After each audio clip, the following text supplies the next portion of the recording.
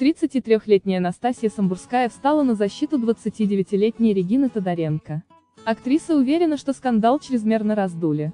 Звезда сериала «Универ» высказала свое мнение об этой ситуации. По словам Самбурской, может быть всего два варианта развития событий. Первый – когда женщину на самом деле бьют. А второй – когда она сама постоянно выносит мозг мужчине. Когда ты выносишь мозг человеку изо дня в день, неделями и годами, а в итоге тебе максимум дали подзатыльник. Это не насилие. Это всего лишь предупреждение о том, что мужчина тоже человек, и если ты, чертова психопатка и не видишь берегов, то вот тебе успокоительное. Эмоционально написала Настасья в Инстаграм.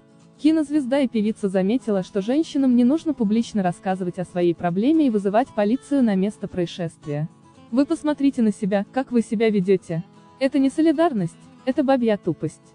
От этого ваши мужчины начинают приходить с работы поздно ночью, утыкаться в компьютер или бутылку.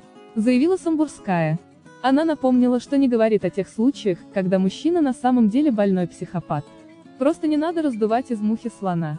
Закончила свой пламенный пост актриса. Регине Тодоренко пришлось не просто после своих скандальных заявлений о домашнем насилии.